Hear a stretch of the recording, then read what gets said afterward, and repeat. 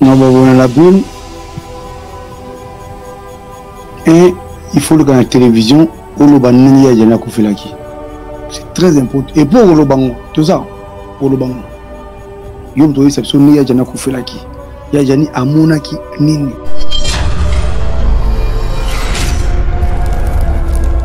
soni toswana yo toswana ndeni lamusana oyo ya fai olamusi ya fai comme ça tobongisi mabe yango après tosoli mine ya fai aza kokufa deja dona miso nayebi te kua eba passe bozokende kuna bokende delivre bokende neti bopamela milimo wana te bapasse botunaka boluka boyeba histoire donc basala otela bwini okotatola toza o bino ekoma mabe osali moto mabe okomi aza na nzambe na ngai te oza na nzambe na yo kipabilite oza na nzambe na obomisi mutu biso bato kobomisa moto otye mbeli no kipabilite omonomona makambo moni yo wanomona bayaka olia biloko ya fai na, na sani olala bomoni ya fai donc nga avant toloka na yo okoleka na tv okoloba nde ya fai akufilaki elonaka biso yango wana napomi na yo te oza mama bana napomi na yo te na protege mobali na yo tala na protege mobali yo otan obengana ye me tala kaka minita moke oyo oyibi ngai ye ozongisa na ndako akufi mbala moko boyo kopena bandako na bino donc eh, tobi te keno moto akokufa te na mokili oyo me botala soki otani nazwaka ye akufa te akokufela mpa na yo ntango yo ozwi ye cela veut dire olingaki ezala bongo epuis mission na yo na mokili oyo oaccomplir yango mpo no bango bien napesa ye mokanda mpo nazongela basi na ye na kini kuna ayebaki yango deja eza ye te bino ezalaki nango petite sœur donc abona tander kobenga nga te pardon benga bagrand na biso bakende fufu na bakampanse jani fai banobima na yo benga nani bango bamikro bazomata kuna na ndako na nga te nakanzala fufu te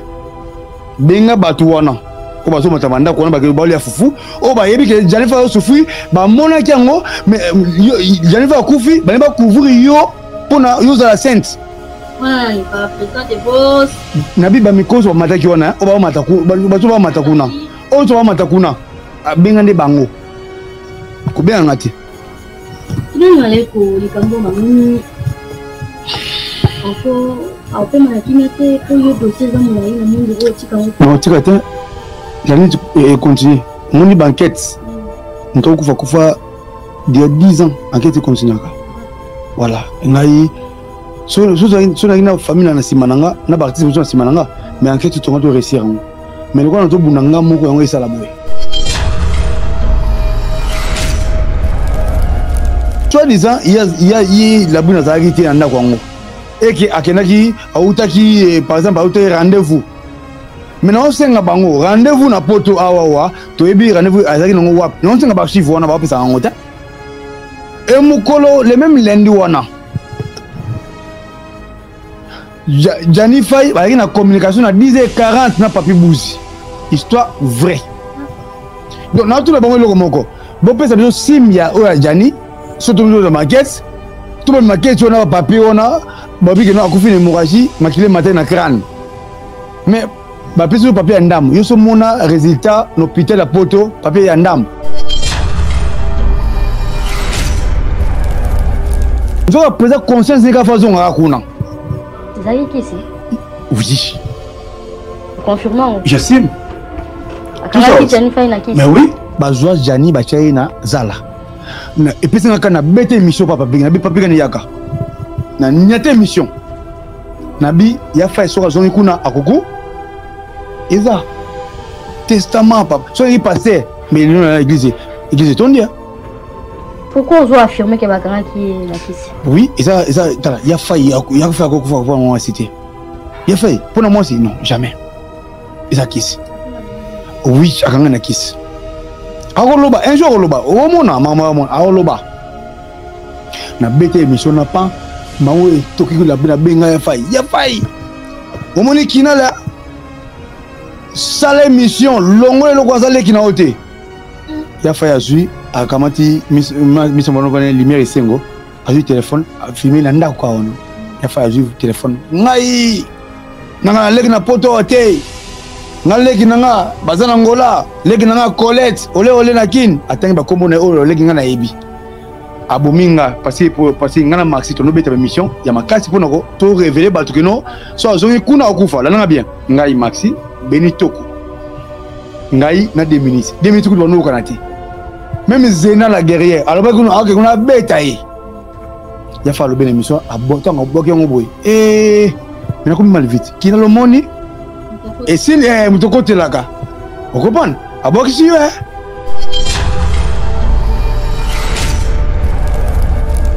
mais à part makambo ya badocument etu jani fai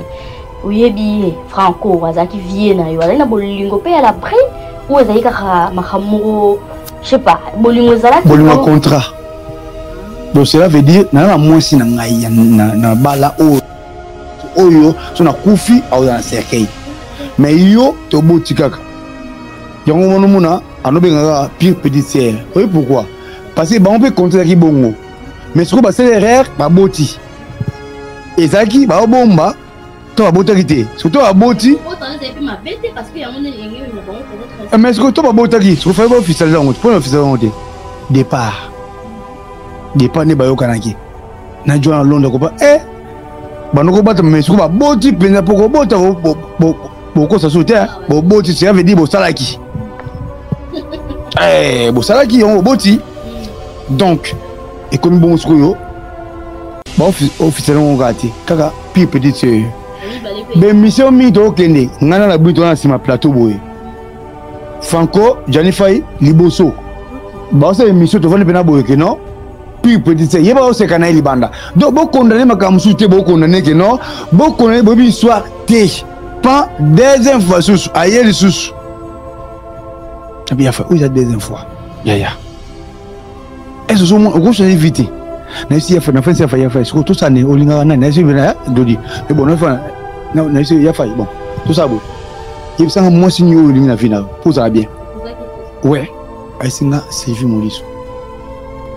bon tosa ndenge na bilinga grand frère na nga jean didier maleko azali awa aza, aza ngunda abengisa mwana na ye mais place ya mwasi eza vide donc soki toluki mwa mokie donc sylvie na yo mpo ozala bien mpo na omona yo ezali mao te te miya bi sylvie natuni question bi nafani ti epena toyei ngai balisi bato tovani mpe na boye natuni abisenge ngai mwasi na ngaka sylvie moliso bon c'est bon tout ça ndeni ngai na grand frère na ngai aza nguna place na ye eza vide mwana moto aya mama aya te lokola toluka eloko mwa moke tobenga grand frère na ngai tosungana mpo ozala bien mpo mama olingi ekende boye yango te toki batuta tokende tournage moko toyai ngai prince shabani christian peti fabrice mbala biso zo ba, ba julia banini ba na biso abenga jani aofinga jani akati esimbi te abengi christian pete mama bayebi yango na telefone christian pete afingi biso bamama na biso il paraît jani fai azalaka na mwasi moko pavant oyo azwaki zemi na ye apesi yango moto mosusu c'est vrai ou faux wana poto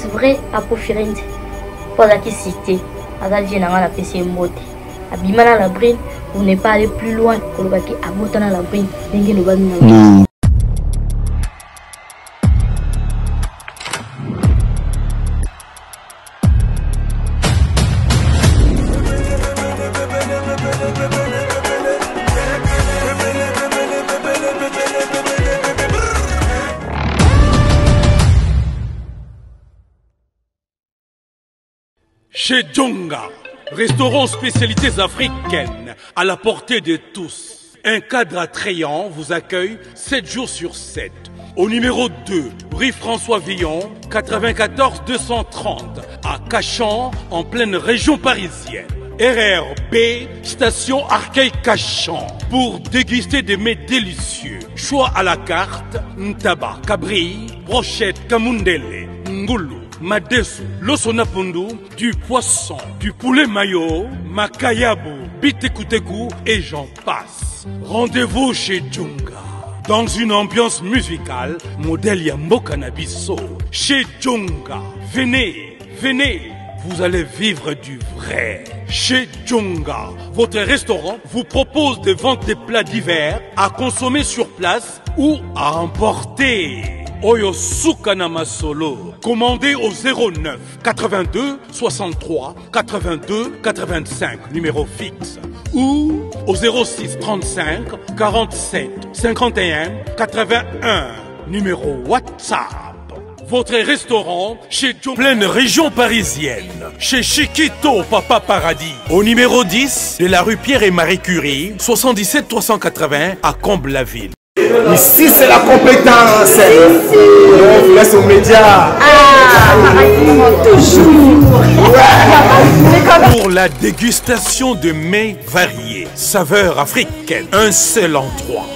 Venez déguster de grillades, du poisson, tabac, brochette, ngoula. Tout ça, modèle ya mboka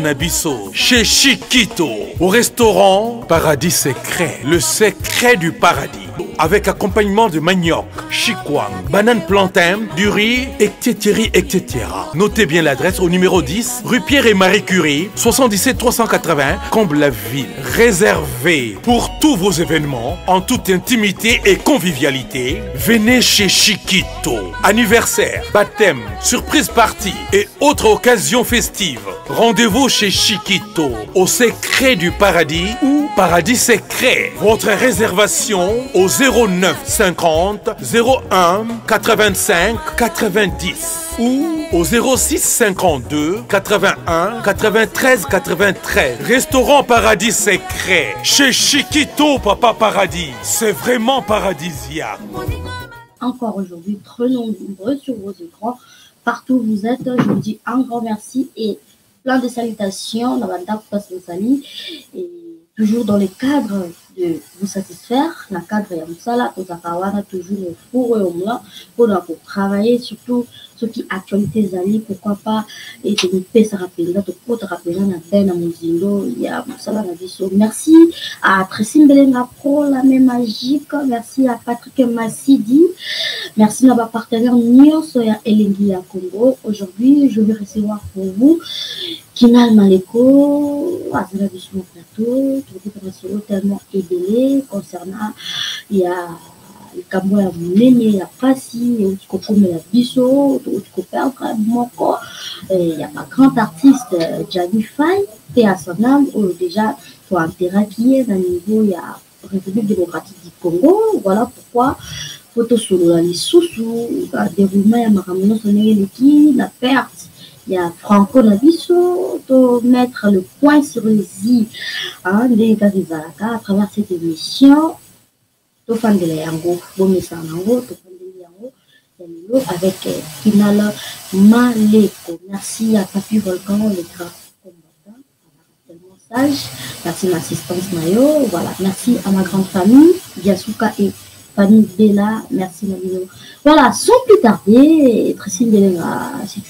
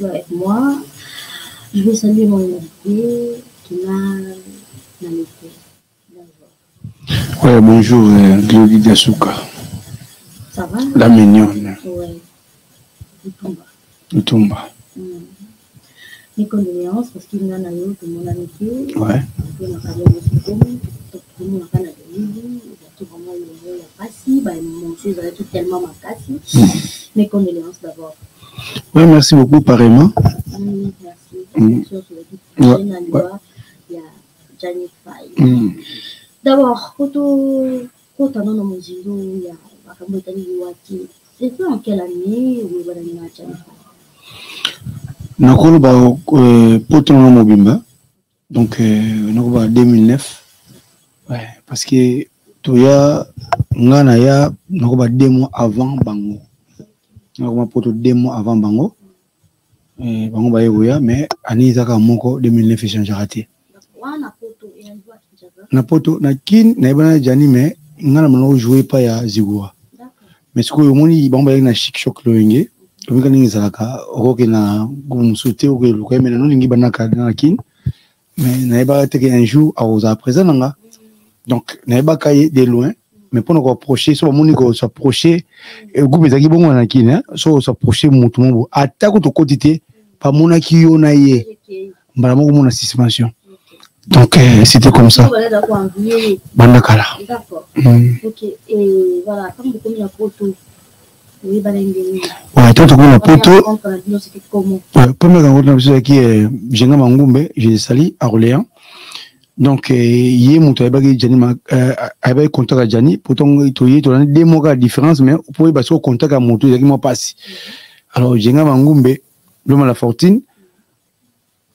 akuze na ngai asinga oh, mais jani jani aza wati nga bidi nga funa continuer kaka eh, mouvement na continuer kaka théâtre na nga parce que na kotika ngo te wana soko na kina ye pas zigora mais soko zigora aza na poto te soko na bino na ye na poto awa donc il faut na continuer ouais na na choix te mm. donc nga aza artiste ya kobotama na ya kokoma te alors jenga ayebisi nga keno non na numero ya jani sikoyo apesi nga numero nabenga mpo ya jani mpo ya jani eh, ah, bona boye mpo azaka na lille autaka lille abisi nga na gare du nord mpo na batrain ya gare lille na okita wana tokuta nazeli mpe wana naye sikoyo na badevele na nga oyo nasala na, na ngola mpo mm. amonaka meme preuve mm. baparcours na ngai na biloko oyo na travaillaki travaillaki ndenge ezala kaka eh, naye mpe na badevele wana beke eh, ezobege nango eh. mm. mais nabi te fo na memaka mpo amona mpe na confirmation kua presa mpe auti lilaki te mpe senga zela na kena zela na ki wana mpe gentil gentil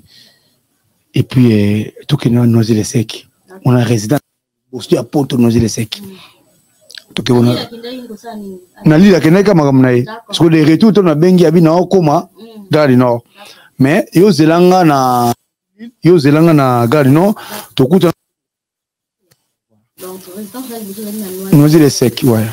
après tokutani mpe wana ndako place na ofuta ye azalaki ye moko ndako pop ye moko na quartier lando kasi te kaka ba 2009 wana te tokutani te voilà amena na quartier lando na nozi le sec place na ovanda nakomi kuna a présent en tout cas nangako makasi na esenga na Ah, ben, naza na poto awa mais bakusin na biso bandeko na biso bayebisangaki na kina yo fo kontika mouvement na yo alors naye na contact te mais na force ya jengla mangumbe na kati ya orléans ye moto yebisi nga kino abi kino aa contact nango apesi nga nimero nabengaki yo ah eza bon nawelisi nga moko mpo eza ba dvd yango ti nga mona wolsi eh, wana sikoyo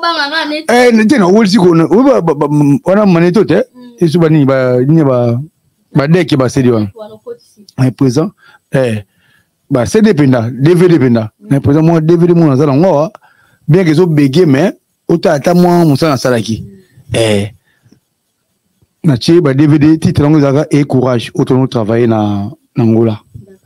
ezalaki e courage meme nakomaka yango nasala yango na bikino tave apesi na ngai ojua bien c'est bon okoti na mouvement eh, bongo mbala moko nde tobanda groupe jani fai bongo tobanda groupe jani fai bongo nde ti lelo tokontina na ye voilà makasi nazoya ku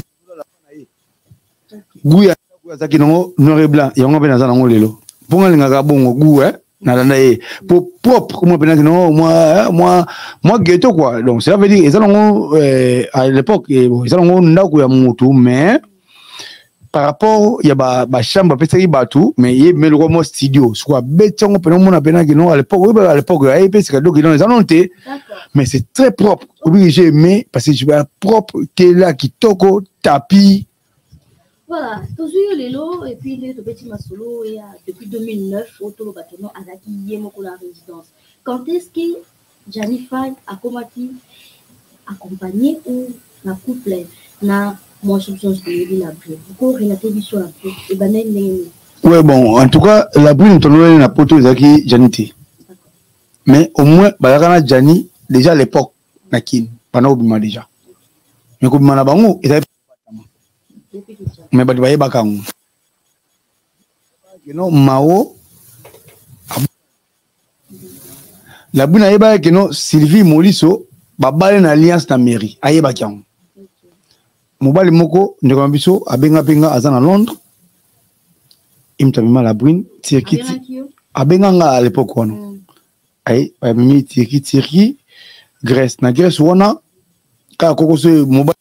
osufri na baressemblance mpona moto akota na poto mais tellement kino complication na complication azomona lokola mbala bana nomona flou komona na eh, oye na eloko boye e bakangi yo oye eloko donc mobali mpe akomokopai te donc amona bamystique don bamystique ya kosana te eh, jani fai mpe azwaki mwa moke na ye abakisaki mais c'est pas dire que jani fai nde mutu akotisaki ye poto te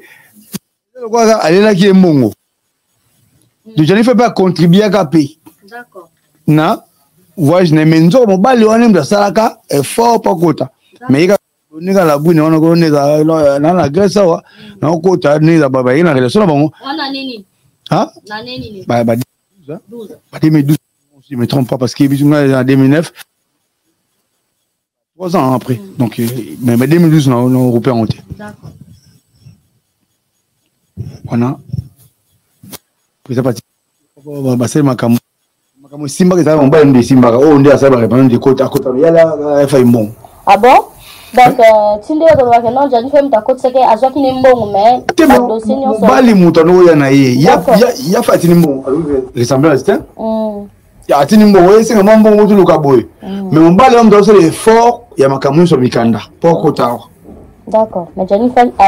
ayedaki mpe mwa moke ekotaki ezalaka bongo moni moto moko okoma place mo boye mm. ade mibale mm. abitinaka boki fona kota yo otindi yo soki ntango yo okoti yo akoti bongo yo kasi yo mokokoti ye nzoka okoti ye deux personnes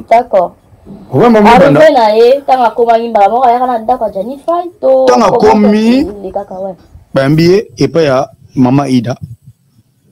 mama ida aza moko na biso bandoko yo kosutini biso epuis présent nani sponsor na biso na sponsor biso nani ivan lokoki na, na relation ivan lokoki nde place la brune akendaki kovanda mpo mama ida mwa x temps après natala kino bazocontinue ba soko ntango john amoni kino oh, ayoki soupçon kino oh, mwasi akoti na poto mais bazobima na jani fai Eh. voilà kasi mobali eh, mobali mpe azali na mwasi na ye mais akotaki par rapport afo azala noko wana neti bana na ye ndenge ezala kaka voilà mobali anga abenga oh asinga bino bozwi mwasi na nga botye na ndako bomima na mobali abenganga à l'époque abengaki na kota ba menace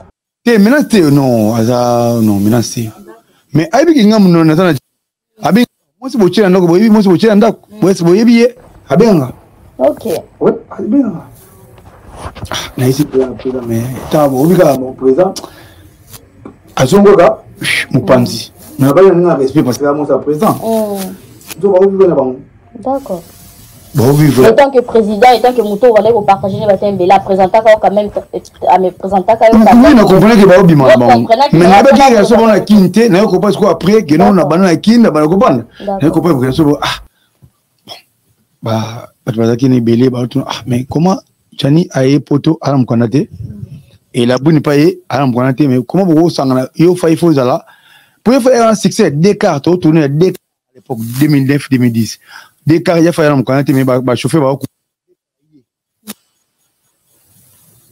soki bato balukela ya faya azala na vie ya bien mais azwi soki mwasi moko boye awuti na ye quelque part yo osafishe na ye oyo balikamoko ya kosangana awa ezalaki ide ya bato to ezalaki ye moko janifai nde adesidaka keno basangana na brine likambo kosangana ezalaki ndenge ye aye ntango epai yida wana mo moke aleli mo keke jour après o oh, natepa noko na biso mpo ezalaki eh, aluka mpe otepatepa wana akoti akomi place mwana janiti na londo mais azoyaka na ye akolala jour moko lola azongi après on akeba wana kona biso noko yango wapi na naye plaisance akopa naye plaisance ezalaki noko na bango te ezali na mobali na ye ah bon boyebaki yango comment ah, mais nga aza mystique te noko na bango aplante mwasi na ye oyo niese na ngai mwasi mpe andimi niese na ngai labwi na ye mpo ntango ayaki bino mo moto na ye mpo ye mpe ajoue théâtre aye bon ah, niese na ngai andimi te mwasi andimi janifa ayebi te yebi kaka nake mpa noko na biso parce que janifa afutela place moko boye oyo bino ezala kaka mm. abana kosala boye bati kotaka akoti kuna nzoka jo na ye mwasi ya jo wana na ye na babele na ye plaisance mwasi ya jo wana mwasi ya jo wana auta aya mpena bo akuta bango aflagan mm. ouais mwasi agangi mwasi akimi atiki bango ndako yango na bino akimaki nde place bakona kota akoti sikoyo libala définitivement ba jenifai efandaki bongo wana mamo ebanda mwasi wana akimi ndako mpo abi niese na yo boye na babe na neyi plaisance mwasi akimi akenda na ye labu yango siko ah, ya fai kote oyo naofanda awa epesa mobu funa ya kaka kokota alabi na ye mama amikoti na noisi le sec na kaze londo babandi siko vie wana soko ntango bato batimbeli keno makambo ekomi ya vrai ya fa ye labuna alobi keno ah ya fa ndenge bato batimi biso tobima awa esa faux a na poto mais yo obimisa yanga kaka petite sere wana idee la brune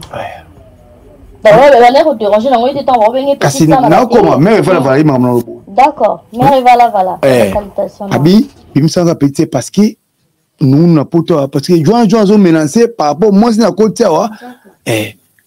Fabia première te tomaka petite sœur yo pi petite sœur aluka te alandela mpo na nini ye mpe agardaki peut-être na part na ye mpo na basi azali na bango na congo mais ye ayebaki babima ye mpe amoni occasion abima nzoka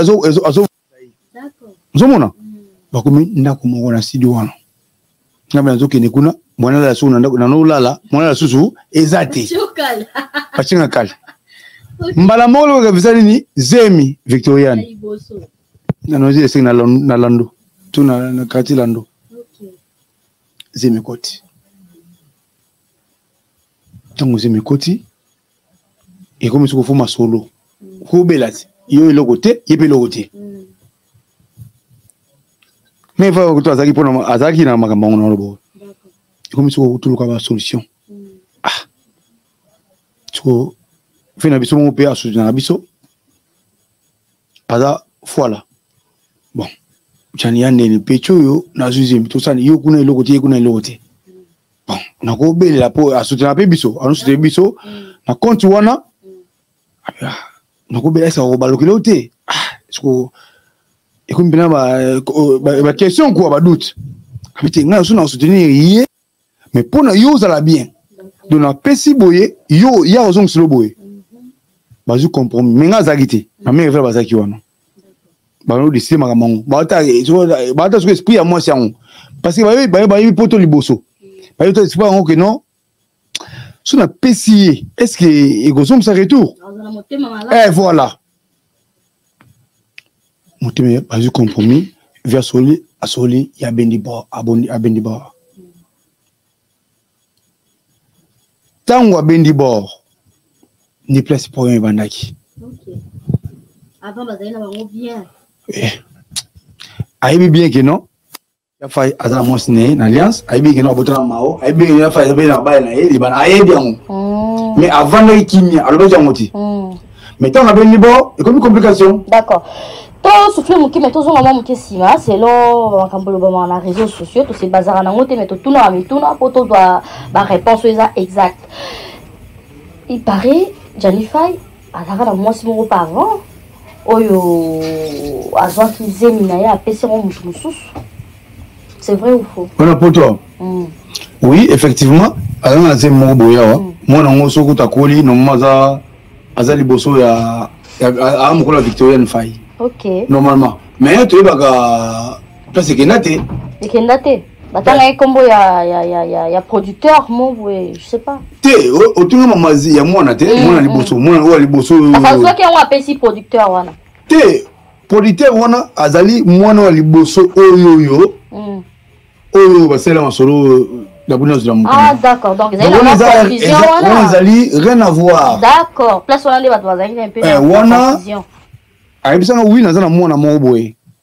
ayesanga mpenza ah, na mwana moko boye wana kuta avant age ya ya mwana oyo ya victorien liboso donc so victorien ya ba 13 ans mwana oyo na ba 15 ans mpo wana azobeta histoire vrai asali masolo asali mpo na nde ya fa azala bien mais ezali te mpo na ye ntango après comme soko faut changer ndako balongwa na nini wana pas mais c'est qu'après ah moi maso moi bondi après ve na nga wawa na lani azuma mm. mon cop moko boye eh les célèbres mm. boko mendie aleki die aleki eh ta aleka te yo pesusu te baloba bongo eh en tout cas yo eh oyebi ke sikoyo ndako mbala moko promotion bango na lani venanga wawa en tout cas merci beaucoup venanga wawa na madame na ye mm. bakreela bango ndako moko na na, na, na lani mm. ouais. epale mais pala yango batikala mpe na nyonga pala yango oye mpo ani mm. caution moto aye kuna fo abimisa ye caution moko ifai ezala caution mwa mala mm. donc sere mare na biso moko mpe abimaki wana na mwana ye batiaki mbongo ya caution mpona mm. bafuta mpona ya ndoka privé te leta baluka banda mpo eh, eh, kuna soki komi batya nkombo mwa privé batya banini banini sikoyo esengaki mbongo ba 2000 bale soko lokola vo ayebaki na sere moko boye kuna na mwana na ye mhm. ndenge ayebi jani bakami 2000 bal bapesi caution mhm. mpo na bakokota na ndako wana na lani bazongisa yango te bazongisa yango te ti lelo wana sikoyo abemaki yesu mai mo eza likolo wana bazwaki ndako wana donc edaki bango mpo na labwi mpo azwi labwi soki azwi mokanda ti mm. soko ye moto fo adirige ndako mpo ya fa azali eloko te mais soko eh. apesa makambo apesa makambo babanda mm. babanda wana d'accord apres babandi wana papapapapa dossier esangana kaka te hmm. mais tout ce temps là yo ozalaki na bonne relation wana ekosolana na brine etant que belle sœur mwasi ya président ozalaki na barelation ndenge na bana okende mais naokende par formalité en fait pourquoi na choix te parce qu'il a fallu souffrir déjà banda wana tant qu'on azwaki ye ou après tant azwi moto bakomi kaka ndako moko soki bakomi ndako moko bien bien hmm. na la tant baye na noye eseki ezalaki kaka mais passage bongo mpe jayan azalaki mwa mm. maseki tokoma tomona mwa mais ntango bakomi siko na lani mm. nde makambo na doki makambo ebandi siko wana d'accord nakoya nanoya na lani nanoya naolala na salon bango lali na chambre omonaki no mama na badiscussion banda oyelani oh, mais towuta towuta towuta towuta belgique totiki na ndako botokake no mwana baodesemante junior wendo akoteli na ndako wana ah bon bino bokenda na belgique na kati ya mosala to na kati ya divertissement na kati ya mosala na nsima na bino nde junior wendo avant wana boyokaka soupçon te soupçon eyokama ye mpe ayebi yango me ye yango obomelaka makambo wana omoni po ezalaki ndeni mm. akoyoka likama na bini tema ye aza motu bayokanga c'est normal fo bomelanga mais à part makambo oyo ya badocument etout jani fai oyebi ye franco azalaki vie na yo azali na bolingo mpe ya la brine oyo ezali kaka makambo moko je sais pas bolingo ezalaki bolingo ya contrat Ah ouais. donc cela veut dire naza na mwasi na ngai ya na, na bala oyo mm. sylvie moise oyo so nakufi aoza na mm. cercueil mais yo toboti kaka mm. yango monomona alobeka kaka pire petite sœur oyebi pourquoi ouais. parce que bango mpe contrat yaki bongo mais sikoyo basala erreur baboti mm.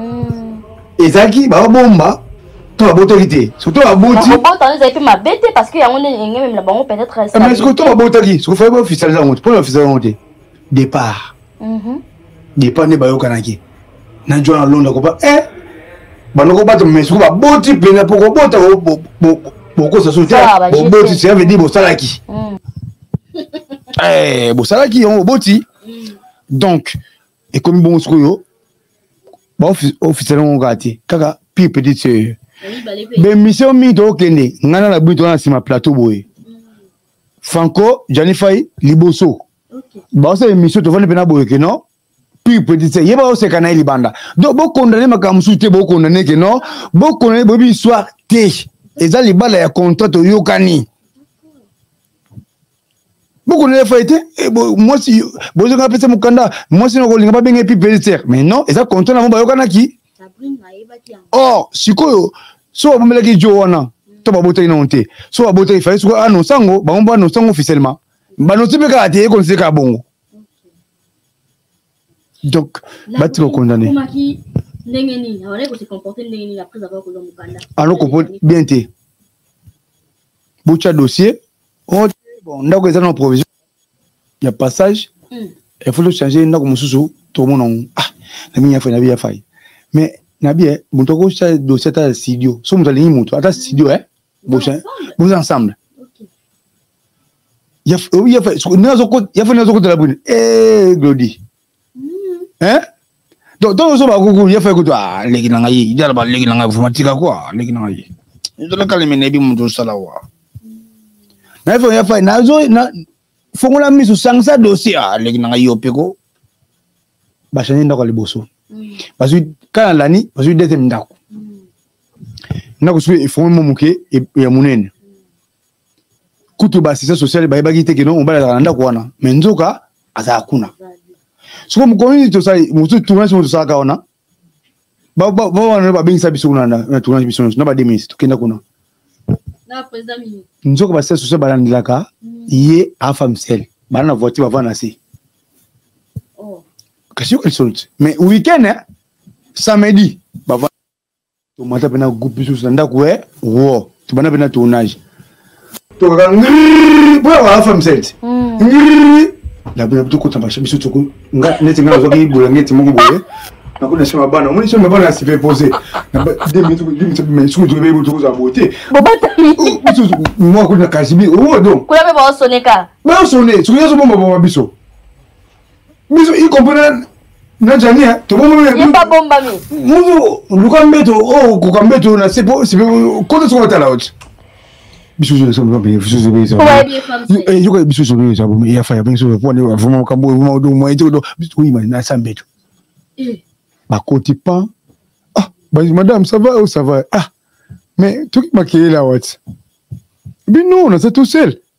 hmm. babia c'est bon bakangi porte babimi babimi te ya vrai babimi te tobimi siko tokozwa tournage ngri bakuta biso mpena boye aflaka mpe totourne sikoyo oh. abi wi basi batisi abi wi bakomota siko nde totourne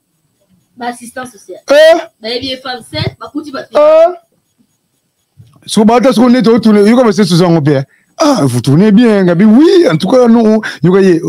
ils sont des artistes et bon nzoka balandaka na bango ye ouais oh, ils sont des artistes et oui en tout cas vous tournez basisa biso na tournage wana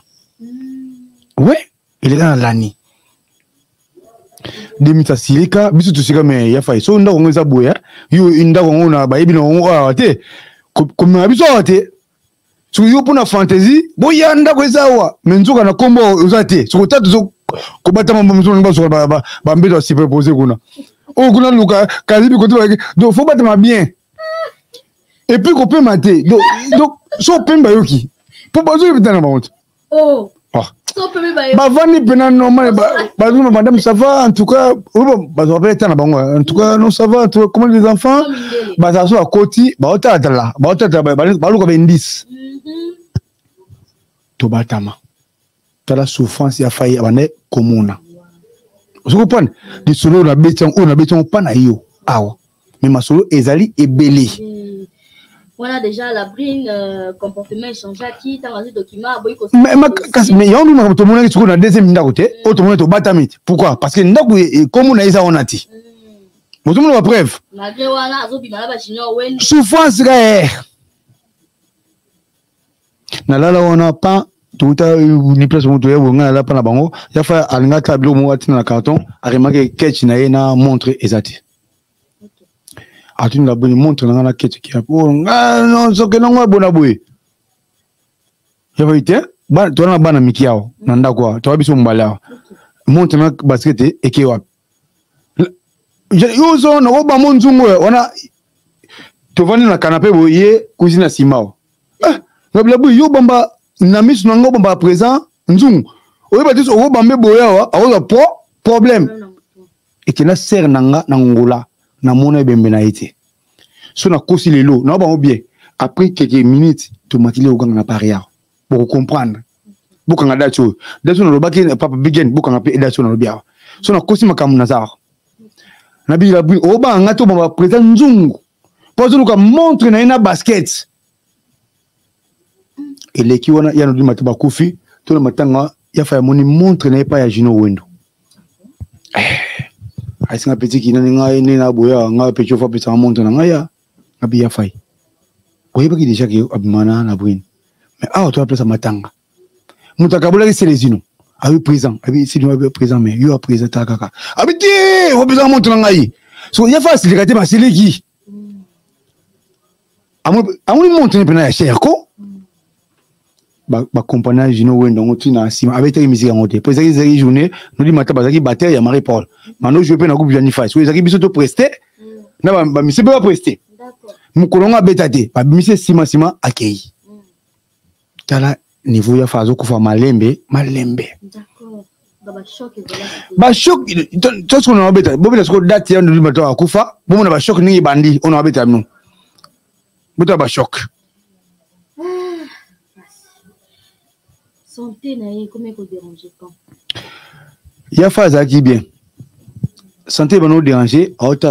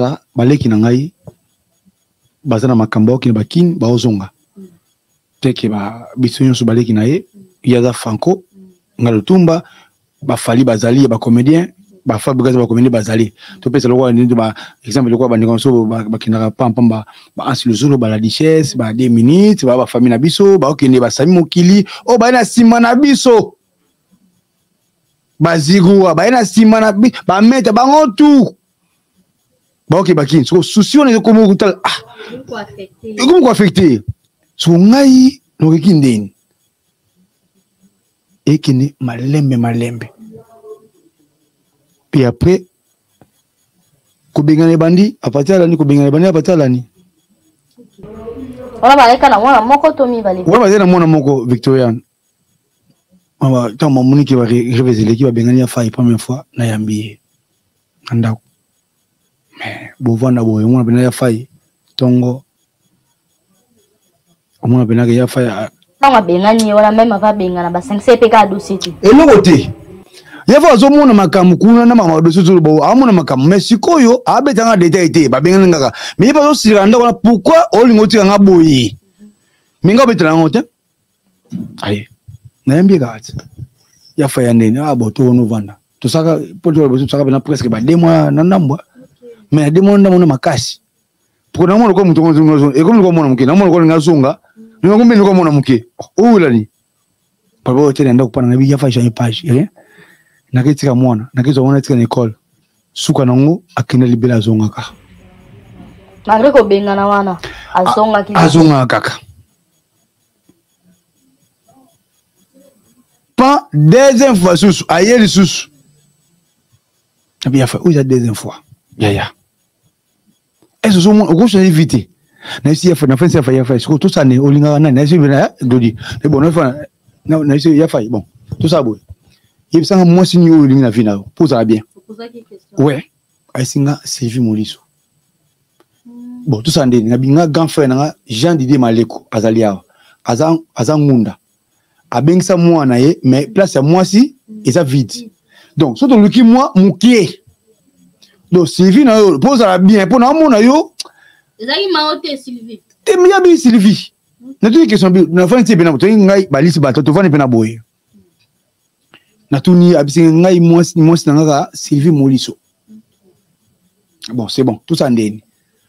ngai na grand frère na ngai aza ngunda place na ye eza vide mwana moto aya mama aya te lokola toluka eloko mwa moke tobenga grand frère na ngai tosungana mpo ozala bien mpo mama mekende boye yango te comme ça eh oh, pour avancer vena nga okende kaka na na ofra azwi kaka document moko moke a remplir akoya normal yoka ya fai alingaki kutu polo te ya saka ni na na gouvernement kuna na nini bazala bato na bango bato basala bato bazala na babengo banani Eh, te na place abe na gouverne bafonctionnaire ah. aza na matriki na ye alinga nini kutu poto te ngabi e eh, mm. ya fai moto azalaka na matriki na nini alinga poto te bagouverne ya fai tika biloko wana ko yo ochange kaka matriki lango baosala na poto ya fai aboma eloko eleka bongo ye wana nalukeli soko solution liboso yango wana bandaki loko eza bongo tosala boye avec ata de shaba na babondela ve na nga akokende kaka formulaire bazwi mpo ozala bien mpo mm. olobi mwasi na fiti mm.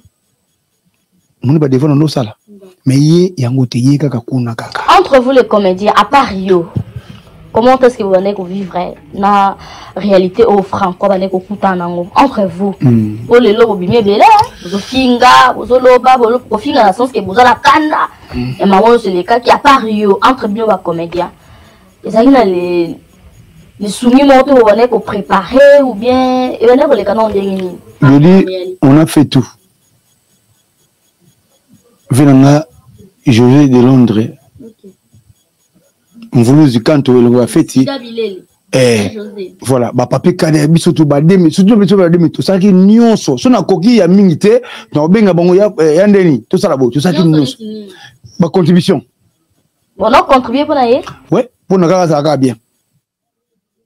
oui basami mokili bakisa mpete na mama solo nakosa kwani oui mpo azalaka bie azonga te do azala na difficulté te tobakisa makambo tu tozalaki ebele baopolenga mais au moins keno ngai natiaki ye pembe na nga pourkui soki azangi semoule amazina ndako alie semoule on a fait tout pour Gianni Fay mm. mais moi je me demande la question ke na suka nango azangaki mbongo afuta ndako ndako ozokaki kuna toke male male mpo tokomi kokende sikoyo ntango oyo abengani pour la deuxième fois elekaki ndenge azongaki lisusu ayeli mpa na nga kaka susu nabi ya fai oyebi nga aza lokola pays d'asile ndenge ozokende kuna naye maso ozobeta kuna mpa mwasi wana te nga nazoyinama tokomelanga moto mabe parce que bita mwasi wana na ndenge abe te aolinga so abengani ya fai ya fai fo atelengana mpenza mona ye asengi mpena ye aye pa neti pa elino image eh? bon nakoli ata na studio oyo so take pa ndeko na ngai remi bola ke esi nakolala eh, eh, okompane eh, nakolala place oyo alukaluka place moko alalala eh, eh, voilà mpo mona kino nga okompane bongo soko lokola nga bake soko obengani na 6 heure na 7 heure naza na yo napesa soko defi wana mpo nga nokana soko tokana te nasika esu nabiki ya fasi nasiliki nakuti makambo no a fond mhm. nini oza bosoka beko na 6 heure 7 heure naza na yo na tout c'est tout mm. nakoti siko makambo na famille nanga babikinali nabi jamais nakota makambo oti na suka wana mpe la brune achangaka kaka te ngai na biso oh, toki batuta tokende tournage moko toyai ngai prince shabani christian peti fabrice mbala biso zo bajulia banini ba na biso abenga jani aofinga jani akati esimbi te abengi christian peti mama bayebi yango na telefone christian peti afingi biso bamama na biso hmm. eh?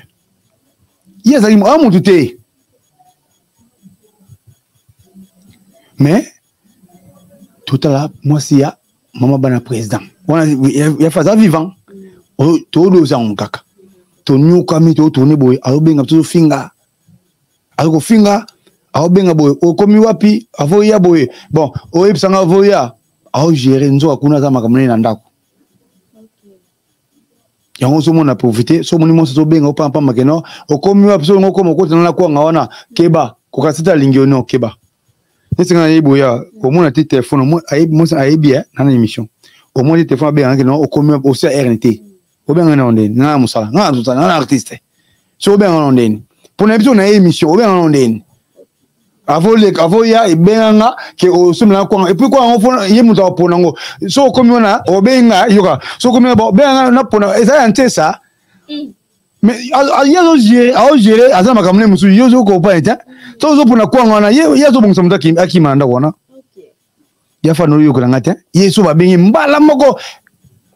hmm, boza banani hmm. hmm, nga sote ngai atangi bato mosusu mpona akotanga bafusansi basilwa atangi eh, nani eh. mais oui aotanga sikoyo bato ngai naza wana ma aotanga bato oyo baza concerne kuyu te sikoyo so bana komona eza na kati mpo ngai azalaki lokola nazalaki nini nazalaki barrière mpa na ye le soir te yamo ah, kinala zo sa barrière esimba te mama nzambe ayebisi soki omoni motu moko alingi yo pour du vrai mm. keba kangama na ye omona kino ondima te mokolo mosusu kino eh! Mm. naki vrai vrai vrai vrai défenseur ya fai pour du vrai afingi monaka ya fayi akina doze kanga aya fayi naozo kaka te mpo na yo a kasi oza président na nga mpo ndenge ofinga nga boye taka président ah, nga mpe naza na bana okobanda eh? naomaka ndenge moko boya président na nga ayofinga ndenge ngai taka nga bakala nga na nzela mosala na mobali yango na ange sikoyo kobengana ya suka po emema peut-être eh, jani fai ti lelo atiki biso kobengana ya suka ezalaki quand ntango ayaki mpa na yo na 2024 na 2024 eh, ya suka oyo ememi na liwati yango na hmm. wana si autaki kozala hospitalise abeli batension na ye wana na bia azalaki na la roserie biso ngai na lisi batatu tout le temps kuna abeli awa na sendeni hôpital sendeni awa nyonso towa batension eye touche neti barin ekoaffecte barin na sendeni awa na gare na la roserie moko wana esili tozwani mpe bien baconseil kana omeme ye mosusu mpa ya venanga na bernard makonga awa mpa ya reto azala kaka bien kaka namemi mpa flori lubaki awa kaka awa na sendeni mpo na nga na rg bayebi mona pena baosomba ye biloko mona bienvenu vangase pena preza lia nzoka preza conscience eka fo azongaka kuna ezali kisi oui oconfirme yango j'assume tout ça mais oui bazwa jani batya ye na zala epesaka kaka na bete émission papa benge nabi papika niyaka na nyata émission nabi ya fai soki azongi kuna akuku eza testament papa soki ezali paster mais lino na église église etondi hein? oui eza eza tala ya fai ya fai akokufa kufa mwa mwasi te ya fai mpo na mwasi non jamais eza kisi oui akanga na kisi akoloba un jour akoloba omona mama omona akoloba nabeta émission na pan bango etoki nabenga ya fai ya fai omoni kinala sala émission longola eloko aza leki na yo te mm. ya fai azwi akamati miso mano bana lumière esengo azwi telefone afilme na ndako awa no mm. ya fai azwi telefone ngai nanga naleki na poto te nga leki na nga baza na ngola leki na nga colette ole ole na kin atangi bakombo na ye oyo leki nga nayebi abomi nga parce que nga na maxi tonobeta bamission ya makasi mpo na ko to révele bato kino so azongi kuna akufa lananga bien ngai maxi beni toko ngai na deux minutes deux minutes kutu banokana te meme zena la guerrière alobaki kuna aoke kuna abeta ye ya fa alobi na émission ntango abwaki yango boye e eh, minakomi malvite kina lomoni esili eh, moto okotelaka okomprendre abwakisi yo eh. yafaka angeli nga kanda eh, libaloba lokotaka te yafaka akangeli nga kanda abenga papika longola emission wana me papika kolongola yango te bato bayebaka eloko nalobaki deja ekele ka bongo me ye bakangi na kisa bande akotaki komkosambela na suka epa paster wales akomaki kolanda bapriere nyonso ezali revele te bon omoni makambo oyo tolobi oyo ah, eza pasi ya pasi hmm. ya fe ezaki eza ye te oui pasi walesa oui tolosa kutu jenenge na biso ya ava eloko eyebana te tobe totyaka nzambe o oh, nzambe obikola hmm, hmm, yo ya walesa Ari pena moto ya walesa me bapesa walesa tono osalango me mpo me ezali place azalaki donc barecuperaki pena bien aoprie me ye bazwaki pena bien quand est ce que la brine euh, akomaki na zemi mpe aboti janifa azalaki wapi bwana janifa azalaki na saint denis Ouais. Et bon, troisième fois, avant nazonga wana ya suka ntango azonga sikoyo na après azongi na ndako wana ntango azongi na ndako wana ngai nayebi te bademenagea ye akei tant que ya komi na zemi tozali tozali na tozali ya labino ya komi na zemi wana jani jani tozali na sendeni azwi mobali na ye mosusu wati wana na sendeni wana ya fa ekoma ah, abengani nga me azuzu zemi ah, ah, présent nako to bon débarras azufaki yo ne kutu azwi zemi azwi mobali mosusu eh? kutu c'est bien bon débarras bokabolaki déjà ya fo azo regrete na ye kaka basusi tu wana fo azonga kaka yango ozomona ayine nga parce que il faut kaka azonga kuna yango mona asaki émission na ah, bosimba labrini te ah. donc ye malgré la brine azwaki eh. zemi ya ya etali ye te bazo kosolola eh. basololaka te non nga mpo na bana nani victoria naza mokolo aya na telefone nga na mwana 9 ans mais nakobenga mama na ye te nakobenga mama mwana aya na telefone obana ya mpo na bana te ya likambo mosusu eh ya ka mususu donc ozomona pena ke non donc ya fai ko donc na biso moyen te ba ba azo ba copine bazo ya wana ba chez vie ya fai yango te yango te copine azo akina ah, mais vie na ndenge niko tout ça boye ou yango te ya fai ba pesa un rapport ya fai bien ah, biso ICKI ya fai 54 ans ICKI vie change na vie change page malala bolingo na bolingo esila na pundu te ofumbwa non nazo verité ti hmm. change page nazo komema ya place na bikino osi na mei na tumela ta mwa vere moko boye ya fai omona ya fai ka loboko ka boye na babilio nozanzango loboko ka boye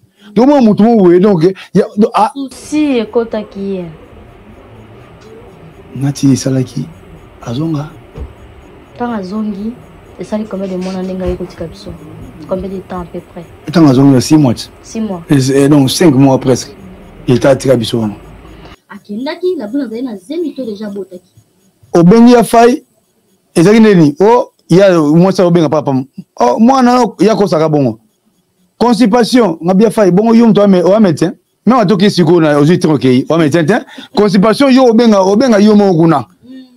ya fo monake mbango akotika biso akia sikoyo ye azwi nsima moto mosusu hmm.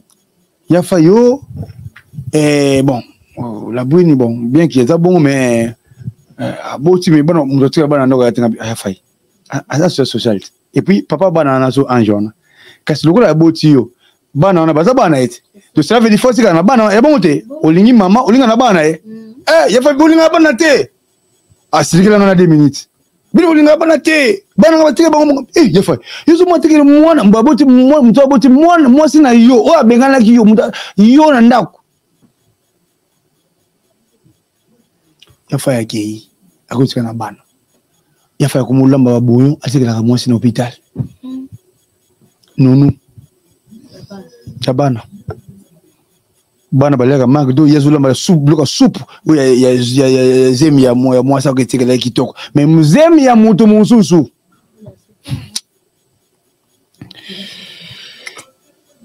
nakobenga ya fai ya fai akomoyebisa nga obenge boye aza na train na train yango ozoka boye dessin anime na train soki oka dessin anime na train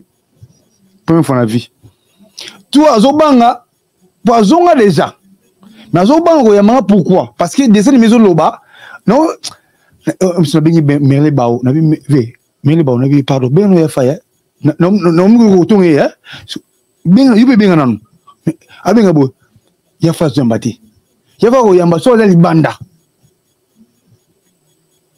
ya faka kosufri biso nzoka azonga na ye deja azongisa deja ndako wana nayeba te azongisa deja mpe azongi wana comme quoi mwasi azali papa mbala na ye aosouffrir wana mwasi e aosouffrir mba kofela ndoko ya te mais loko na apapa wana ye yango ape chambre moko epuis chambre yango ava zonga kobanga na yo te basango moko bakotaki kuna babwaki bamai babwaki bamai bapifi yango kobanga na yo te batyango basango ya fasi azwi assurance donc ça veut dire lokola mobali mosusu akotaki kuna donc kobanga na yo te esilisa bapefi yango deja ya fa azwi assurance azongi na ndako shema bana a condition ke moba, papa mwana nga bana komata na ndako ataka mwana na ndako ya fa andimi condition andimi na ye te ouais.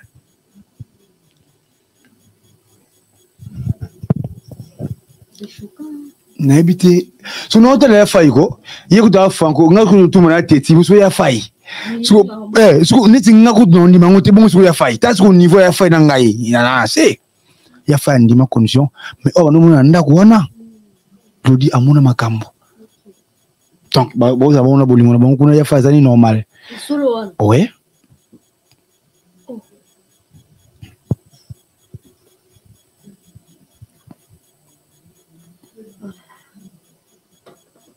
Donc, elle, la dame, on dirait qu'il est calme. hein. Ah. Papa avandi kuna, papa avandi mpe aye, papa mais moko e- mpe aye. mais eza contrat bosini ya lokola bosini contrat ezangaki kaka papier na biki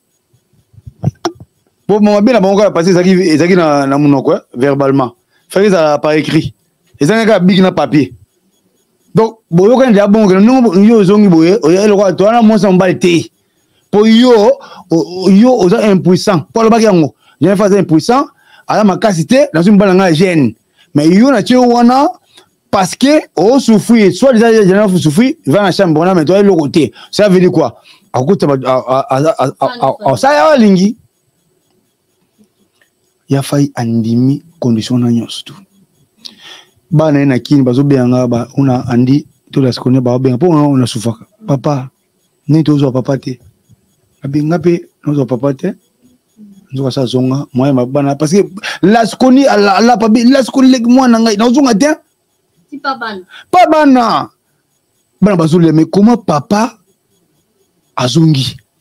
ti ntango akufi na maboko ya ya labwini eza c'est bon nzambe alakisi ke non ona okosa bato kozonga te eh? donc soki nzambe abi bon loko ozokosa bato kozonga te kufela wana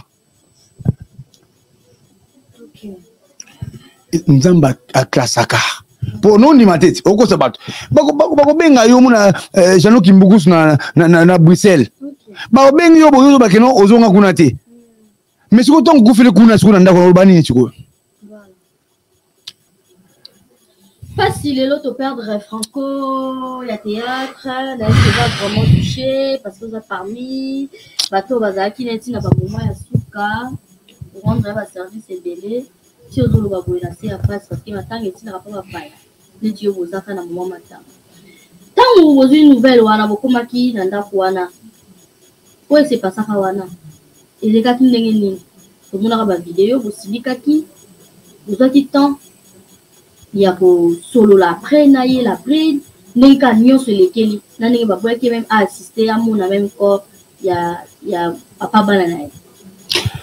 ngai ezwaki na mosala ngai na mosala ezali na mosala nani blanche kina eh, nani samba papa samba de paris mm. moto abenge nga abe ah, chef awa babenge nga kino euh, jana kufi natali date na bi eza to na mars e avril te eh, na bi non na bi verifie mpona wa verifie na abengi yo abi moto abengi blanche kina moto abengi ye samba abenga ngai pourkui abengaki nga te mwasi yango payebi nga tolobanaka te tokanaka te moto ya liboso faka abenga nde ngai mais abengi blanche kina la perle noire après blanche kina abengi samba de paris samba de paris abenga lodi na bana olela na mosala eh. na mosala na osala bona olela na leli bina hmm, batunga ça va oui ça va mais suka nao bakangi nga nazolela naolelaka basamba bademare baluki bake kuna mbangu mbangu mpo bakemona makambo yango mais soit disant ye labwina azalaki te na ndako yango eke akendaki awutaki eh, par exemple awutaki rendez-vous mais naosenga bango rendez-vous na poto awawa toyebi rendez-vous azalaki nango wapi naosenga baarchive wana baopesaka yango te e mokolo le meme lundi wana jani fai bazalaki na communication na 10 h 40 na papi buzi histoire vrai donc natuna bango eloko moko bopesa biso sim ya oyo ya jani so tomizoza makete tobami makete wana bapapier wana babike no akufi na hémorragie makile matai na crane mais bapesi yo papier ya ndambo yo so mona résultat na hôpital ya poto papier ya ndambo jamais papi buzi na communication na jani baosola bango baoswana na, na, na, na labrine labrine alalaki libanda asali entre na ndako wana jani fa uti tika bana ekole yango moni akufaki na ceinture wana moto afanda na ndako omoni ya fai na ndako azala na joking nayebi yango bien soki omoni akufi na ceinture na pantalon botala yango bien abimaki kende otika bana na ekole azongi leta alabwi na sali entre kanda wana oyo alobi oyo bango bakendaki na mobali wana basalaki baje parce que déjà na jani baswanaki de na mobali wana donc alobi lelo okolala awa te lelo okolala kuna koswana mo eza eleka wana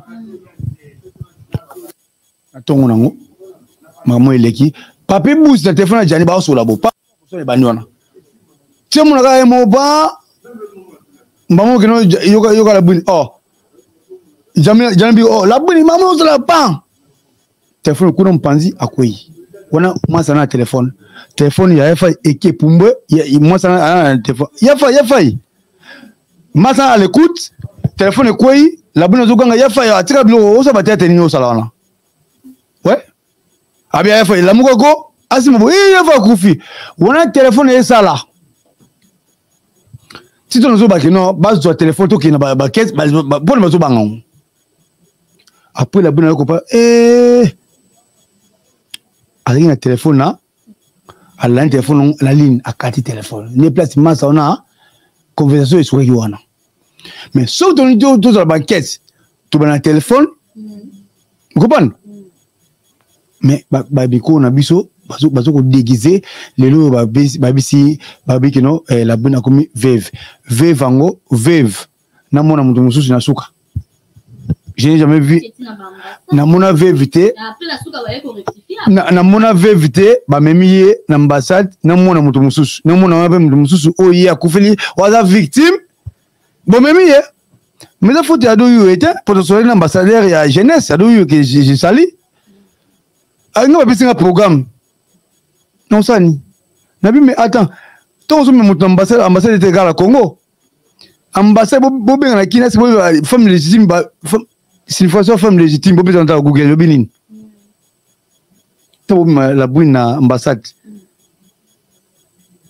donc euh, kinal maleko bazolanda biso epa première dame de lausanne merci ku ya gobelisha mama na rijandilu wawa lelo oyo toperdre franco nayebi koza touche makasi bobsek na ye organisation ezala kote ya bacomédien ezala kote ya mboka ezala kote ya bafani déroulement yango nyonso eleki ndenge nini mpo na yo ouais déroulement yango eleki vraiment bien na côté moko boye mais moi négatif na côté moko boye mpe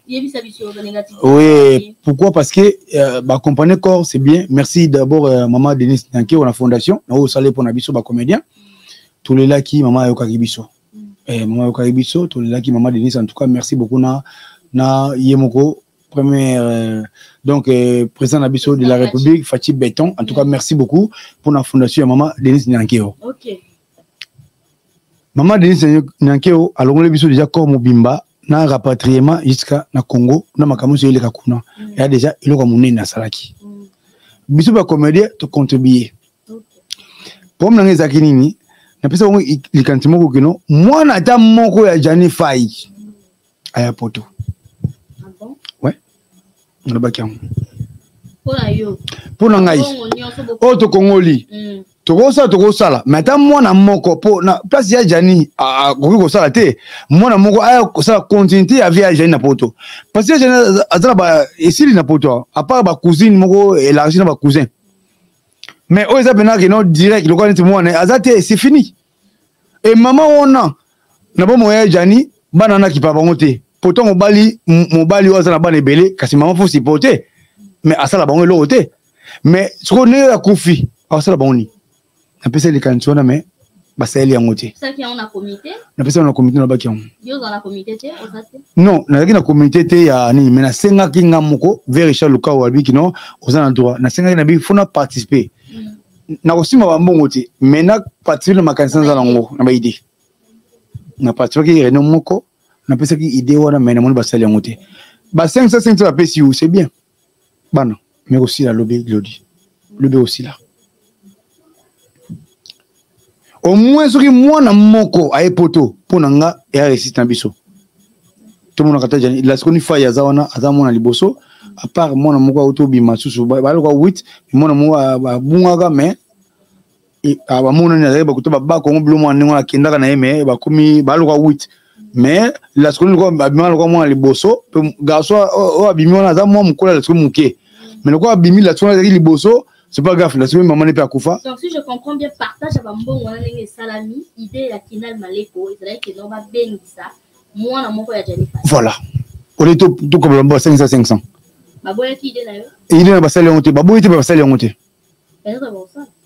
te me babongo de eketi nayebi te basongo na babongo na bango nayebi te nayebi te me nga namonaki kino par exemple tokoya nini na 5 mille na 5 mille wana bo trois shaba neti nga tokolela neti eh, tokokipa fabrigas maeso ah, fabrigas ani omona poya jani faya aboya ah, te fabrigas ebi jani fayite mm. tokokipa tokokipa fere tokolela babisa nyonso tu mwa moke yango soki babobo moke na bino na mais bona volonté epa makambo kitoko basali yango te mais au moins na big bien na otika yango te cagnotte tosali cagnotte mpo na mwana moko ata faya efe ata mwana moko mado soko batie e, e, oyo bozomona wana keno basali par rapport kua non ya buzoba ya buzoba basuteni na nini mm. femme forte bato ono bato nyonso basala kaloneti wana so baza bana basi bango wana basuka mibali so babana mibali bango wana balabrine bato nyonso basala kaloneti wana eh, oyo na nkombo basudini labrine bazali ndenge labrine azali so baza mibali eh, bazali ndenge basali janifai c'est simple eh eza déjà bato basalaki na compagnie kaka bango eh, batya me nalingi mpe transparence na cagnotte yango eh, pardon eh.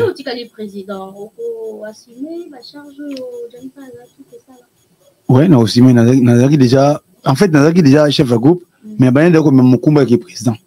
makambo mosusu natuna mpo eza ah, opesaka role ebelebele mpo nayebi te ndenge oyeba nayebi un jour na elona osala makambo mosusu mona aa na retard ya koya tournage mpo eh, eza okinal oh, yo mpe okopenaka te bandisa tournage bazwaka mayele bongo soko lelo ntango aza te naye kopa bia ah, présent bona oforme nga déjà banda kala na baprésent oza wapi konto wana tournage mpona obanga nalingaka présent azala mpo omoni mpo na présent nga mpe nazodiembela nzoka ye azobisa nga afomi nga deya mosika bi aokinal ah, boba na tournage eh. nayebisi yo na bien formé taka franco bien formé et puis atikeli nga non nayebisi yo Lodi, non laisse tomber. Naza na ba, ba bienfait ebele ya Poya Janifai ebele. Lelo oyo soki okoki kotala kamera, nayebi koza na pasi. Oh, aide biso longoli lunette. C'est Kinan Maleko. Alors ça là toujours matanga ya Janifai okotala kamera. Okoloba nini? na la brune tobani nao na ye boyebani bango nyonso ese passe na matanga oyo eleki na perte oyo tozwi ya franco janifai vie lola hmm. message nini kinal okoloba na la brune parce que toperdre ye na babona la brune un il faut oloka na télévision oloba ndenge ya jani akufelaki c'est très important et mpo oloba ngo toza oloba ngo yo moto oyebisa biso ndenge ya jani akufelaki ya jani amonaki nini dede tika kopesaka bana telefone babengaka ngai bapase ngai yo na oswana yo te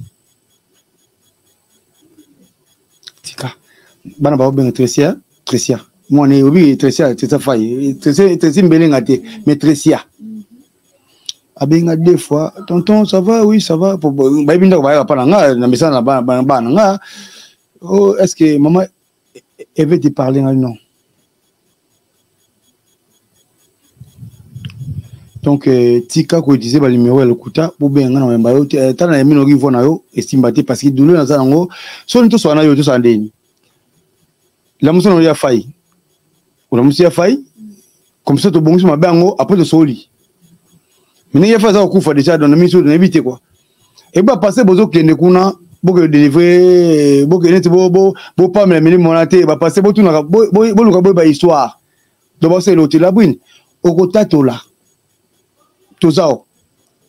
bino ekoma mabe osali moto mabe okomi aza na nzambe na ngai te oza na nzambe na yo kipabilite oza na nzambe na obomisi mutu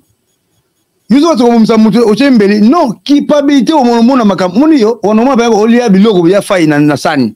olala bomoni ya fai donc nga avant toloka na yo okoleka na tv okoloba nini ya fai akufelaki elona biso yango wana napomi na yo te oza mama bana napomi na yo te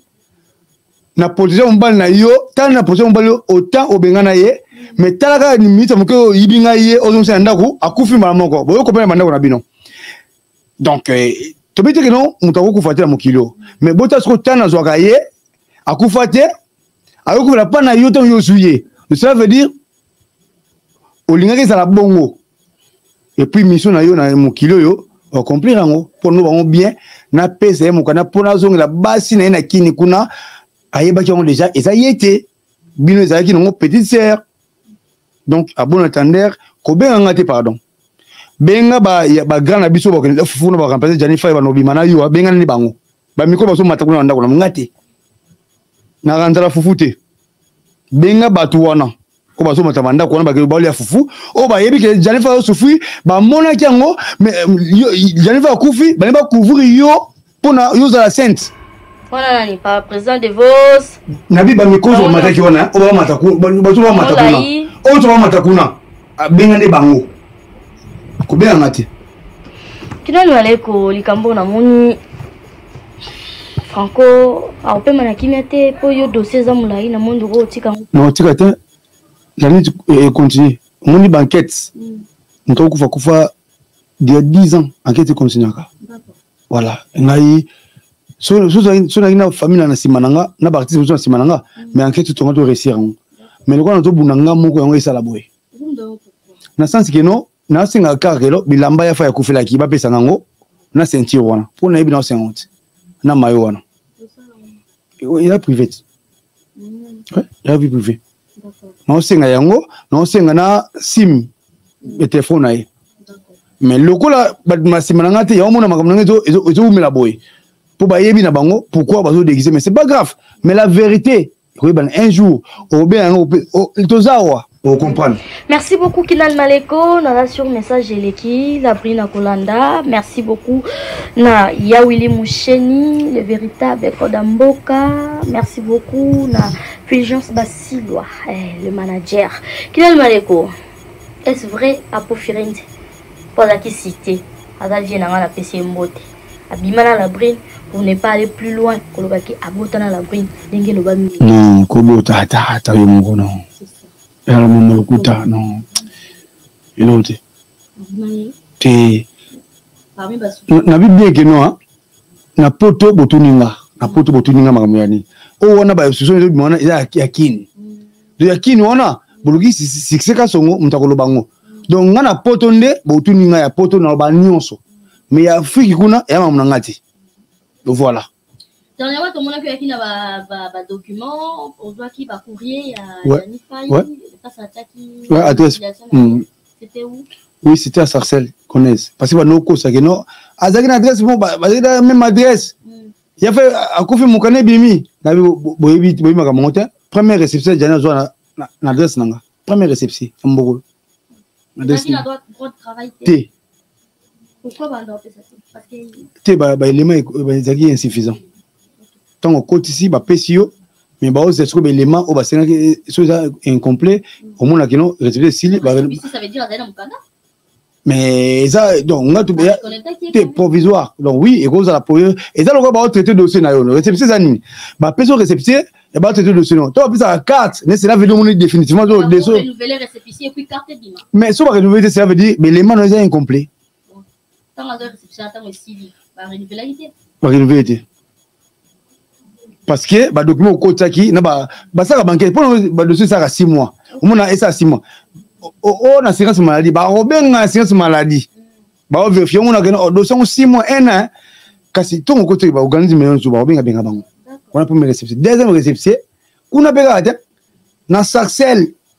epai ya eh, bana, bana, bana, bana, bana mbinza napesi bango mbote en tout cas président tef lankanga bantuka bambote ebele association wana bango nde balokelaki ya jani adresse yango namemaki bakoya ba pourquoi parce que bato balobaki non bazalaki meme adresse ya fait ekomaki mpena kozwa mokanda sikoyo azwa mokanda na, na adresse nini parce que baza ni paxe ni concubinage ni marie na mairie olandi nga bebe misato wana adresse na yo na ndako wana eza te omemi loyo oza moto mokanda boza meme adresse so olandi makambo oza mokanda tolongo wana boya parse meme ndako oza mokanda bobana na mairie oza mokanda soko nyonso wana yafa aza nango te yango se bato boza mayele koleka nga te mpona salonga naleki bino koleka bon bomona bakube 95 sarcel gonese naye bomonaki na mokolo ndako oyo apesaki adresse alekaki na émission wana bomonaki mpa bato balekaki wana voilà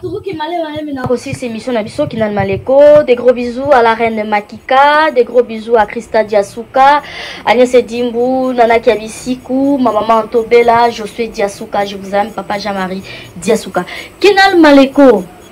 eh, jani fai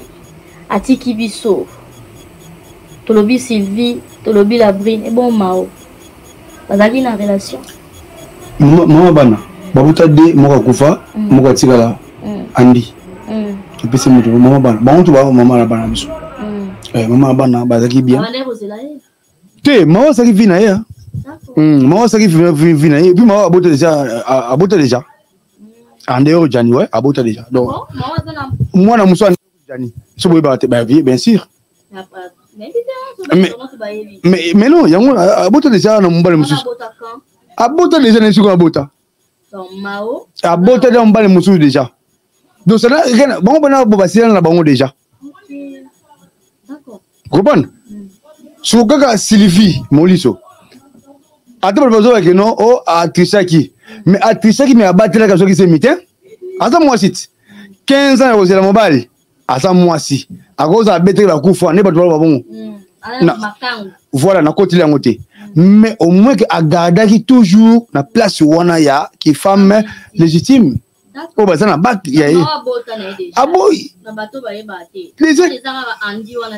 mawa abotana na mbala mosusu oh, mawa eh, babotana na janifa de moko akufa atikala andi mais andeo andi nani oyo mao abotana mobali deya mosusu asala vi na ye déjà d'accord donc boyebi bango bongo ok voilà voilà c'était là kilal maleko plaisir à trois kozwa yo lelo namoni oseki e eh? ozali toujours kaka na elongi ya mawa mawa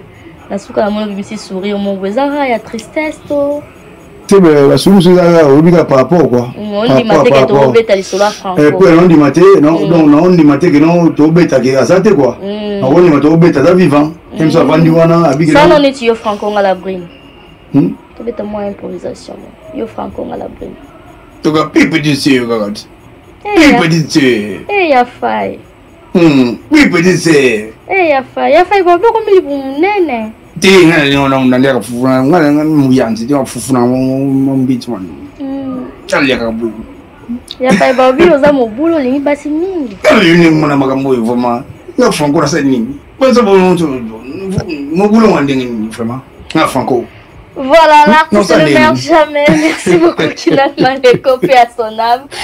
Eh. jadi fai atiki biso na mpasi vide eza makasi po te eza na tokomi okoma na suka kinani mm. maleko message soki ezali opasse na bandeko tu balandi biso mm. na baoyo tolobi na oyo tolobi te epuis mm. badédicace basalitation na bato tu basoutenir euh, yo surtout na moment oyo moi lelo eloba mwa moke avanaki na kuna facebook nanga eza pirate ah oui nayoki mpe lisolo yango nabosani yango tout à l'heure oescroke mbongo moko boye nayeba te mbongo yango ezali na kati ya matanga ouais. bapirate compte facebook na ouais, eya pirate bandeko na nga esi nalobaki likambo oyo nabeta esete mingi te parce que naki ekute nga na matanga bapirate nga mpo nazwi mamo matanga to temps mpenza ya kosala biloko wana eza te natikaki nyonso nana na mamo matanga do bandeko bozona na ngai na elengi ya congo oyo bozomonana yanga te nalobaki yango déjà avant donc bokeba bokeba bokeba basengi bino mbongo oh, bona boye ngai te bona na nga pardon bauti osikoki mama moko na états-unis mm. frisance basilo ye moto ayebisenga bo bongo te babengi frisance wana eh. entre un temps esa bengi nga na ligne mbala moko o oh, kina linga be est ce que esenga mpe na makambo oyo okanga mamono mais eh, faut osala video na nasaki video na poso yango wapi mpo bayeba ke non bapirate ngai bandeko na nga kinani maleko ah, wewe kinani maleko bayebi te babamona bilongo na mabe babi siko ah, moto ala serie mm. donc soki asengi motu bakondimela ye mm. voilà donc compte facebook ya kinal maleko eza pirate eza pirate tout bozolanda biso bosala keba voilà eza na te message okomona je sais pas moi demande ya mbongo ewebaka eza kinal maleko te batie bafere ya mbongo comme quoi mosusu opesi 300 dans un mois ozwa 600 yango mbongo ya kisi moto patrick malafengi voilà abenganga kinal yo okomi na mbongo yo kutu bosa mpo ngai mpo koti facebook te ngabi abi osenga nga 600 nazo 1200 mais nga boss wala patrik malavenge ega bawa boss ngai te voilà yo bato babenga kidi kidi okosana te ngai mongabi e eh, mm. natanga masanga matanga mm. nakozala pirate mm. donc euh, voilà eza nga te bandeko bolimbisa nga eza nga te nakotika kosala yango te natambola moko na to droit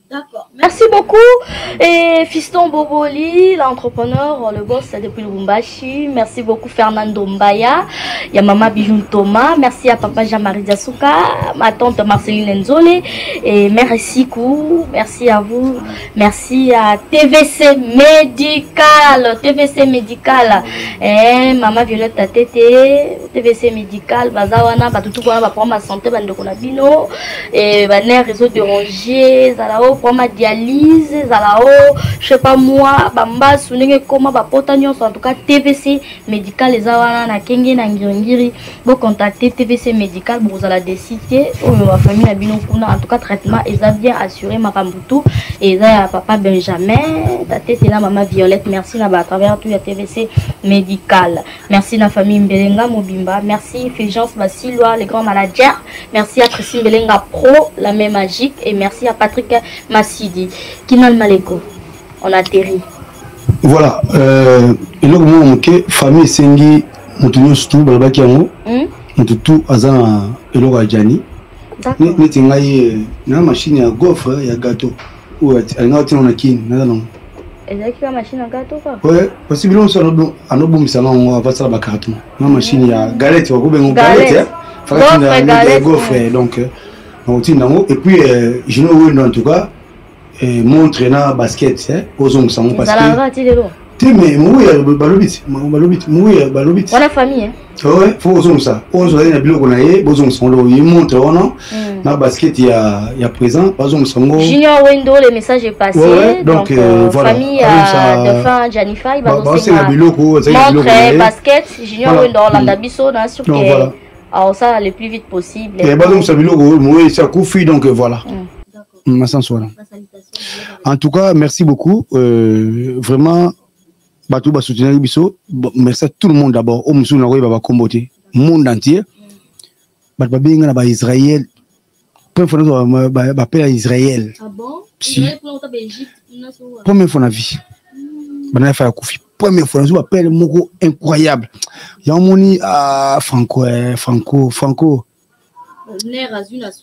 otiki nga na biso yo obakise nga so makambo ya kosangana te bieke naosepela na liwa na yo te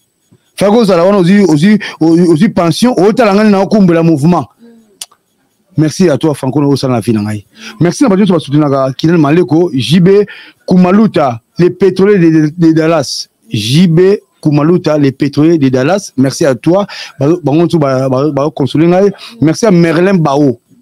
en tout cas merele bao merci nango so nyonso oyo osalaka mpo na ya fai na ozo kotie kosala mpo na ngai merci ya didie oasis en tout cas merci mpo na baconseil na yo merci ya edo sedoi chambre du commerce na suède merci ya yo en tout cas yango wana eh, merci bienvenu vangansele mokonzi ya bangulu en tout cas yoko tolembisa jani bangulu wana tout en tout cas merci beaucoup eh, merci ya uh, wajeni kabasu conteneur ya bilamba wajeni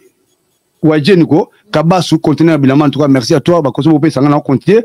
eh, merci euh, bl chez bobo chez mobobo blaise zebele mm. merci à toi na restaurant en tout cas merci beaucoup na bandeli belle chez mobobo mm. blaise zebele donc merci à toi et puis euh, merci à rémi bola papa na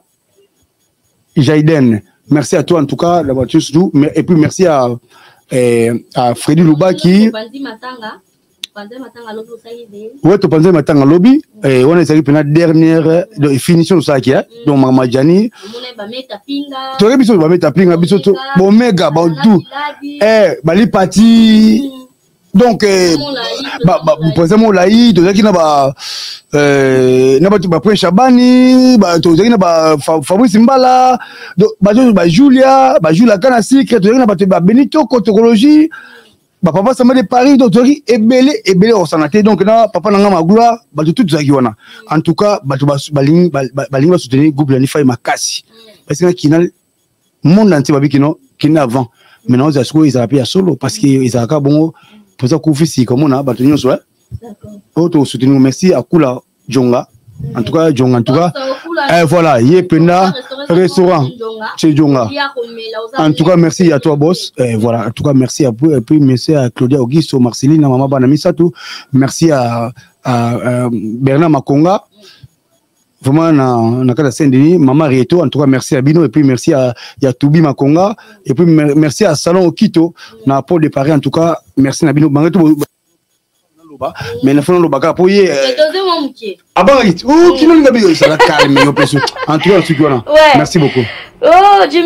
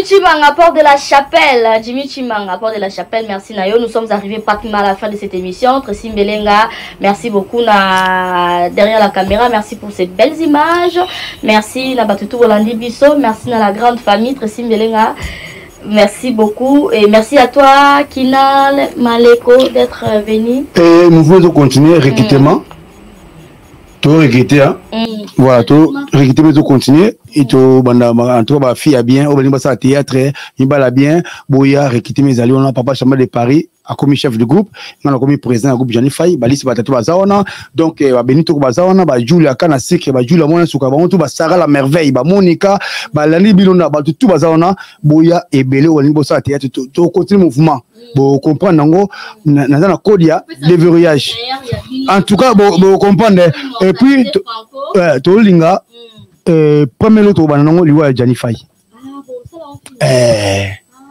soki tokoma tosala normalement na comité eh, eh, liwa ya jani fai tosenga mpe ve na ngangadongados moto pretre oyo koko na biso ti aya aje biso mwa boko tokelo ça va ayebisanga kino akoya abesi oyo sokomika après akoya kitoko merci eh. merci beaucoup c'en est fini pour aujourd'hui restez toujours branché sur elengi ya congo fulgence basilwa merci beaucoup à Christa Diasuka, Mimi Nzembo, la fofolle, ma maman, je l'aime comme ça. Et pourquoi pas à son fils Nathan Nzembo. Joyeux anniversaire à Nathan Nzembo depuis et eh, Canada. Merci Fernando Maya, Maman Bijou Thomas. Merci Nabino tout. Vous qui branché, connecté sur Elengi à Congo. toza wana mpona kosatisfaire bino tokozwa lisusu kinal soki ya koloba ezali en tout cas nasengi na communauté congolaise mobimba communauté congolaise en tout cas likambo ya jani fai nayebi ke touche eh, mabote touche bato tu motu tu aleli jani fai na bandako mai tomekana mpe kotya mai na bavert donc nayebi ke dossier oyo neki nala aza akolandela yango epuis nkombo ezobetama mingi ya la brine nayebi ke place aza e, ameka kozwa basolution ya malamu azala presse te asala mpe dai na ye epuis asambela mingi voilà communauté na biso tozwa kimia tosala mpe ke de sorte ke molimo ya ndeko na biso jalifai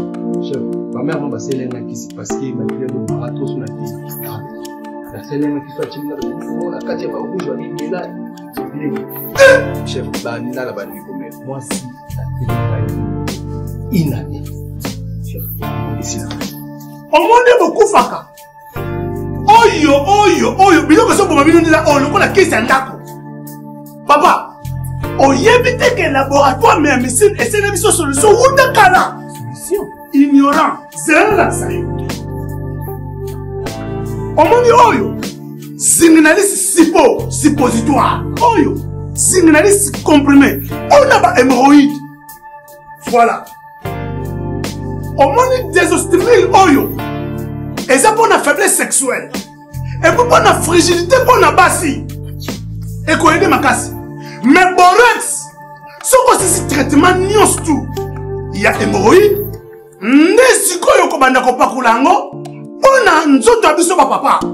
soki mpo olingi omesire basantimetre no avant banda kopakola mpo mokolo kosilisa okomesire lisusu okomonaka box toujours champion okomprendre bakisi oyo nyonso nalakisi yo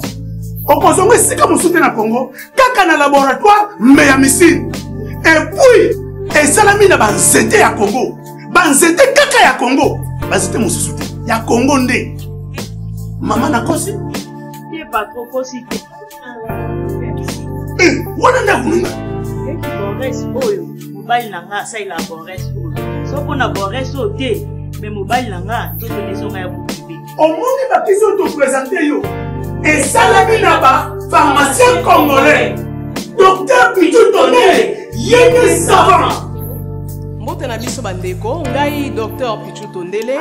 naza pharmacien ya formation nazwi formation na université ya kinshasa na faculté ya pharmacie Et puis nasali ba master na niveau ya université Marien Ngouabi mpe na niveau ya Canada na transformation des agro ressources et puis préparation ya cosmétique thérapeutique naturelle. Nazali ko œuvre na laboratoire CRMTA oyo ezali laboratoire MMC spécialisé na production ya ba phytomédicaments c'est-à-dire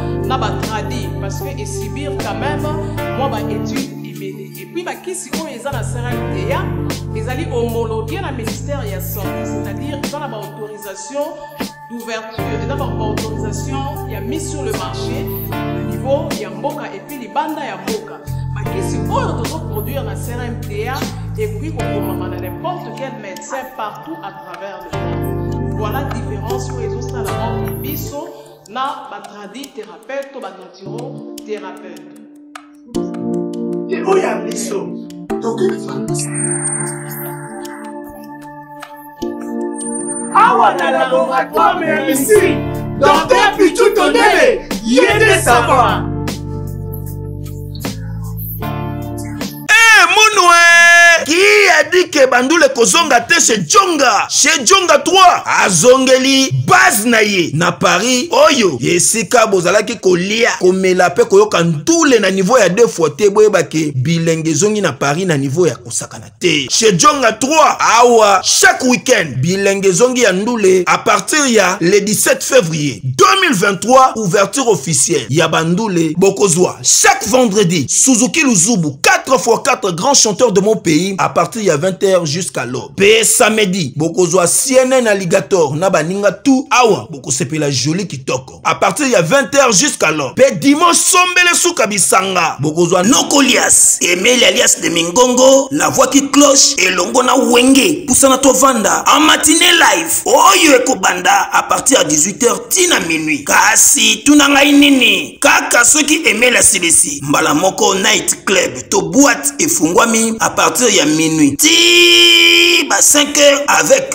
DJ Bobo oyo akosepelisa bino na bandule mpe na ambiance ya kitoko. Malolo. Oui frère, Babi Chonga. La Congolia. Futur, futur. Hein? Moto akosala 50 boîte na kati ya King Sergio Masquer. chez jonga twanga na ntaba ezwami na adresse oyo noisi le sec na nsima ya macdonald numero 25 chemin de grou 93 130 oza mobimba chez jonga twonga na ntaba yango nde ezali moboko ya ambiance na kati ya paris mpe na france mobimba